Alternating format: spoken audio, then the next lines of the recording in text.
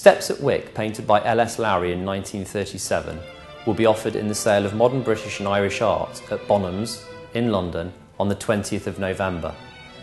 It forms part of an extremely strong collection of 19 works by the artist. Painted in 1937, the work depicts an area of Wick known as Pulteney Town, and more specifically the Black Stairs, which formed part of Thomas Telford's design for Pulteney Town an area of Wick which was associated with the herring fishing industry in the late 19th century. What is particularly interesting about Steps at Wick is Lowry's treatment, or rather anthropomorphic treatment, of the buildings which frame the figures, the way in which they twist and turn, mirroring the figures that they frame. This is in stark contrast to Lowry's treatment of factory buildings from Manchester that he included in his paintings of the 1920s and the early 1930s, which have a far more rigid and man-made appearance.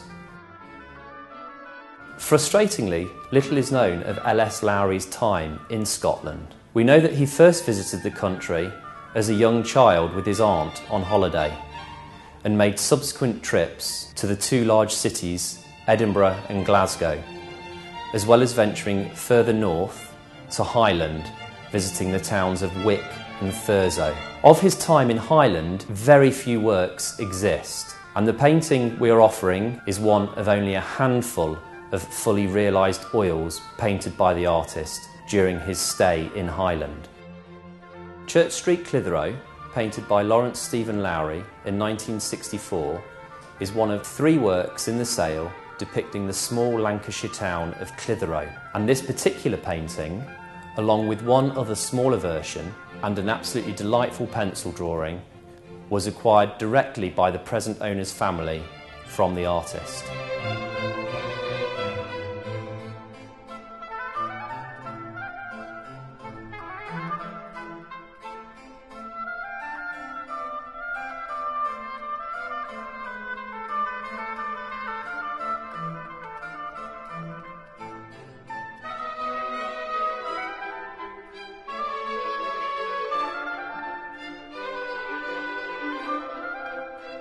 The paintings of this particular view of Clitheroe were painted between the years 1961 to 1966, and this is the largest known version.